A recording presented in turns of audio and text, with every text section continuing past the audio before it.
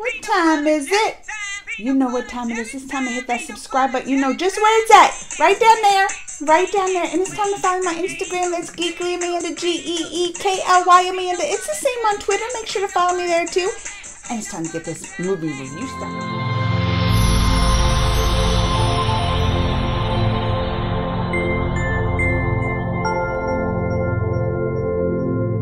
Right, you all, I watched the Australian movie The Dry, which is based off a novel, popular novel by the, the same name, and stars Eric Bana. Came out in theaters, but also here on premium video on demand this past week. I tell you, I enjoyed this one, The Dry. I enjoyed it.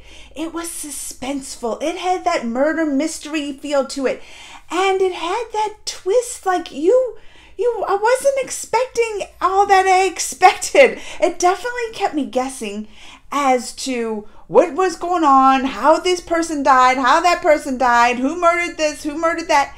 It was great, a great drama thriller murder mystery. Let me even tell you, it reminded me of little of another show I'm watching on HBO Max called Mare of Easttown, who has um, Kate Winslet. Kate Winslet's in it, and it had that same kind of feel. That's why I was like, this is perfect to watch because I'm watching this this series, uh, Mayor Mare of Easttown on HBO, which gives you kind of exact same thing. There's murder. There's de- there's maybe not decades, but there's you know um, cases not solved and and how they're trying to figure out how they're all tied together given flashbacks in some ways.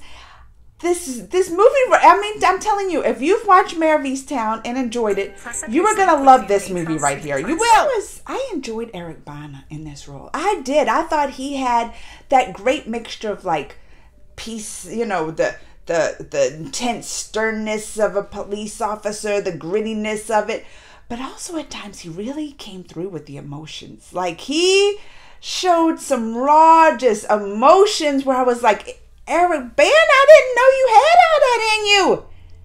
And not just him, I'm telling you, the supporting cast I thought was great too.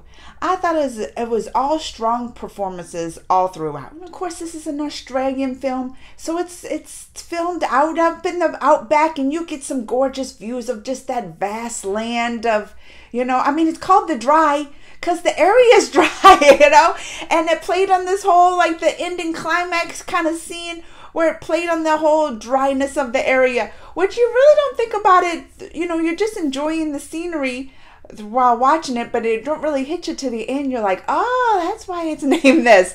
If you enjoy suspense and murder mystery and all that, I'm telling you that you're gonna love this one. I sure. look at what parents need to know before letting their kids watch this. As far as language goes, you're gonna get the harsh language and profanity throughout. You're gonna get the a-hole words and the f words and the s words and all them words. Terrible. I didn't find it to be like, oh my gosh, the language is so outrageous. I won't let my kids see it.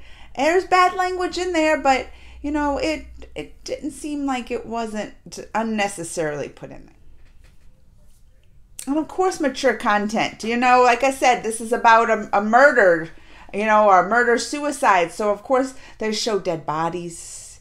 They have you know murders of teen of teens in this that you see the dead bodies of teens and also yeah, a young child. So i mean that could be very trigger and harsh to watch you're going to get some kissing in this. That's as far as you're going to get in the kind of sexual content. And they have some drinking. I mean, it's not too bad, but I mean, the the the main story and the plot is about murders, so you're going to have that and some bloody scenes. I thought it was good. Oh, I thought it was good. That's why I said it kept me guessing. I loved it even up into the end, you know. I mean, they have its parts where it could drag, but I mean, that's with these kind of stories, it kind of goes that way, you know? I mean, you're going to need the build up, you're going to need to learn some backstory. So there are going to be some parts where, like, all right, it feels a little slow, but it's needed. And at the end, it pays off because I, I enjoyed it. I loved it. I loved guessing throughout it. And remember, it's in theaters now, or you can rent it on, you know, video on demand. I only paid like six bucks for it. Let me know what you think if you already saw it. Comments, thumbs, all that. Until next time, mwah!